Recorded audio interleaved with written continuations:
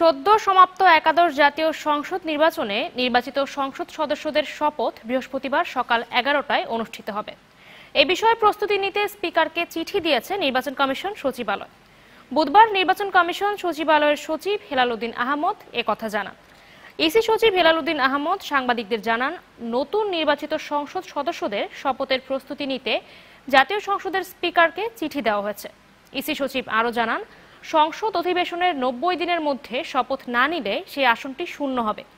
এর আগে মঙ্গলবার সচিবালয়ে এমপিদের শপথের কথা জানান তথ্যমন্ত্রী। পরে রাতেই নবনির্বাচিত সাংসদদের গ্যাজেট প্রকাশ করা হয়। আর আওয়ামী লীগের সাধারণ সম্পাদক ওবায়দুল কাদের জানিয়েছেন, দশ জানুয়ারির আগেই নতুন মন্ত্রিসভার সংসদ সদস্যরা শপথ নেবেন। নামে গেজেট প্রকাশ প্রকাশ নাম প্রকাশিত হয়েছে। তাদের যাতে শপথ গ্রহণ অনুষ্ঠান করতে পারে।